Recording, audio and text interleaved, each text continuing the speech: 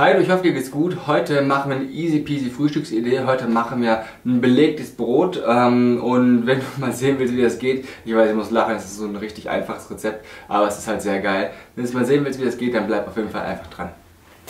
Wir brauchen auf jeden Fall für das Rezept im Endeffekt nur vier Zutaten und ein paar Basics. Ich kann euch empfehlen, nehmt euch eine Scheibe Brot. Und zwar schaut ihr das mal an hier. Das ist so eine Scheibe Körnerbrot. Haferbrot mit ganz vielen Körnern und Saaten drin. Warum empfehle ich dir das? Weil das einfach lange satt macht. Hafer hat einen ziemlich niedrigen glykämischen Index, was wiederum heißt, je niedriger der ist, umso länger macht das satt und schützt sie vor Heißhunger. So, und ähm, das ist schon mal ein ziemlich gutes Brot hier. Äh, eine Scheibe hat allerdings auch 192 Kilokalorien. Das ist halt schon ein Brett, aber es soll dich ja satt machen.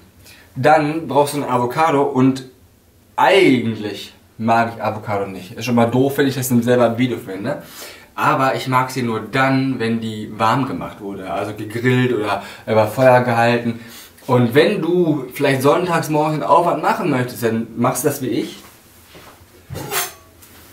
Du äh, nimmst den Avocado, schneidest die auf und hältst die über das Feuer, beziehungsweise hast du wahrscheinlich nicht, tust die, die angeschnittene Fläche in eine Pfanne. Na, das ist, der ist, die ist relativ grenzwertig. Und weil die schon ein paar Tage bei mir liegt, seit Freitag, also fast eine Woche.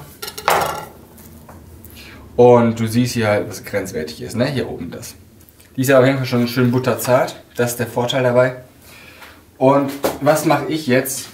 Ich habe ja hier ähm, Gas. Ich heize mit Gas. Und ich werde diese Scheibe jetzt hier aufspießen und so über die Gasflamme halten. Du würdest diese Fläche hier einfach über ähm, die, in die Pfanne geben und dann würdest du die anrösten. So bekommst du auf jeden Fall auch ein schönes ja, fleischiges Aroma.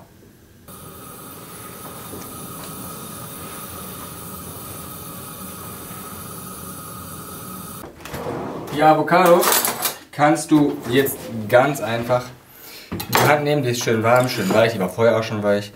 Dann nimmst du den Löffel, gehst am Rand lang und gibst sie hier raus und dann zerdrückst du die. Ich mache das so, am besten nimmst du dann noch eine Gabel für, aber du musst es beides richtig machen macht keinen Sinn. Und ähm, ich zerdrücke das jetzt hier zu Mousse. So, und das ist schon mal schön. Und jetzt ähm, leicht salzen und leicht pfeffern. Alles einmal durchmischen.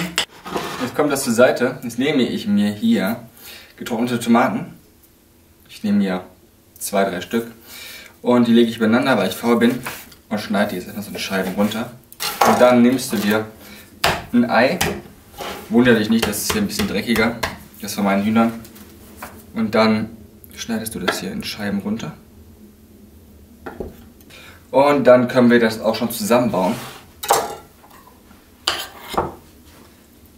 Du könntest natürlich auch ein Spiegelei drauf geben, das wird auch gehen. Aber ähm, das mache ich jetzt nicht, weil ich habe das noch übriges Ei hier. Ich möchte es auch gerne aufbrauchen. Und du siehst hier, ich gebe das jetzt nicht, oder verstreiche das jetzt hier nicht. Ich gebe ein, ein ganzes Avocado drauf und dann nehme ich mir jetzt hier die Streifen und ich lege die da einfach drauf. Und dann kommt das Ei da oben drauf und dann noch ein bisschen Pfeffer ein bisschen Salz.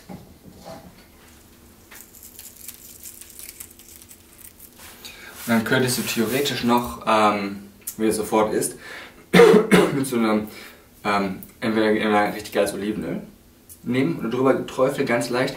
Oder nimmst du halt auch, was ein bisschen perverser ist, so ein bisschen ähm, Rosinen-Ketchup oder sowas, dass du so leichte Süße noch hast.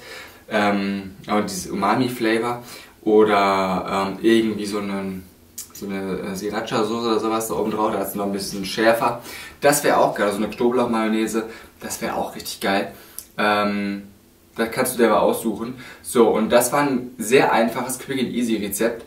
Und wenn du es mal nachgemacht hast, schreib einen Kommentar, schreib mal deine Lieblingsfrühstücksideen in die Kommentare.